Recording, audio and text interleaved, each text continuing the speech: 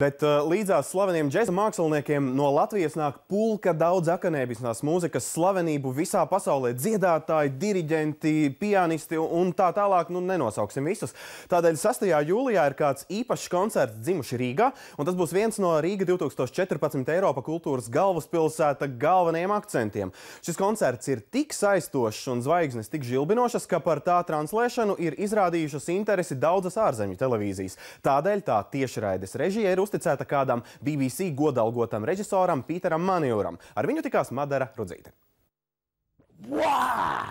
Lai televīzijas skatītāja ekrānā nonāktu vislabākais attēls, kas visprecīzāk un viskrāšņāk ataino koncerta vietā notiekošo, vajadzīga spēcīga operatoru komanda un prasmīgs režisors.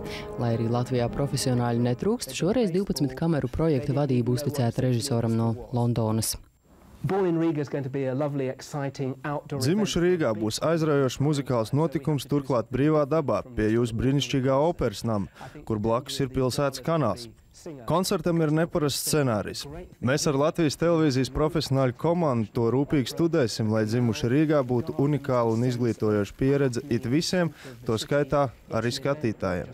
Vienā koncertā 6. jūlijā vakarā pulcēsies Latvijas akadēmiskās mūzikas zieds. Tie, kuri Latvijā koncertē gana bieži, un arī tie, kurus dzimtenē redzam retāk.